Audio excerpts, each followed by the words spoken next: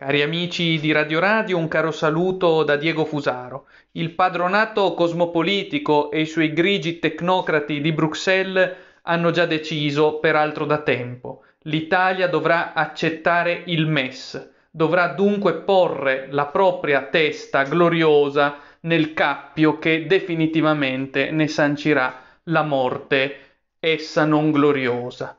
Del resto gli stessi politici italiani che figurano sempre più palesemente come semplici maggiordomi alle dipendenze del grande capitale borderless, hanno dato già da tempo anch'essi, verosimilmente, la propria approvazione. Debbono soltanto trovare la via giusta, l'aurea via, per far sì che il popolo accetti ciò che ad oggi è risultato indigesto al popolo, il MES stesso. Conte ha provato nei giorni scorsi a muoversi in maniera ondivaga eh, da, da, Visconte dimezzato quale si è rivelato, giallo fucsia al tempo stesso. Prima ha detto al Financial Times che il MES si sarebbe fatto, poi ha ritrattato dicendo che giammai si sarebbe fatto il MES e ha poi eh, dato conto insieme al suo fido scudiero Gualtieri che l'Eurogruppo ha aperto alla possibilità del MES ma che esso, MES, verrà utilizzato sicuramente da altri paesi e non dall'Italia. Intanto l'Eurogruppo ha approvato la possibilità del MES.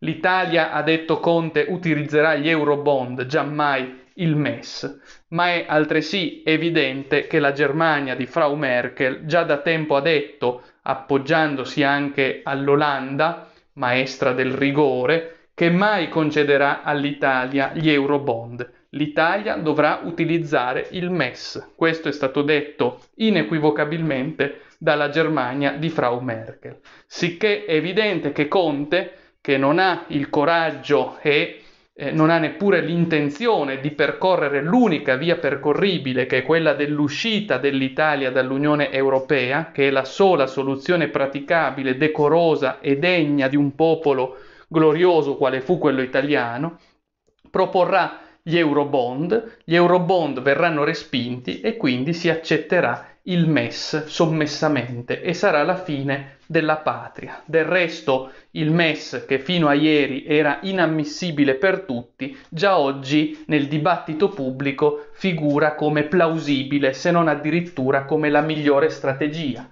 Così ha detto tra gli altri Silvio Berlusconi, errore clamoroso non accettare il MES, dire di no al MES. E proprio oggi sul rotocalco turbomondialista La Repubblica compariva un intervento ben visibile di Marcucci del PD che diceva che è sbagliato il no a priori al MES e altre compagini della guarnigione fucsia delle sinistre hanno anch'esse aperto in maniera incondizionata al MES. Romano Prodi, tra l'altro, ha detto testualmente che il MES eh, deve essere discusso e può essere benissimo accettato. Lo stesso Marattin, l'economista Fucsia, ha apertamente detto che eh, il MES non è un mostro che, che ne pensino i 5 Stelle. In sostanza, per ragionare con l'immagine della finestra di Overton, si tratta per i potenti di far passare un po' alla volta l'inammissibile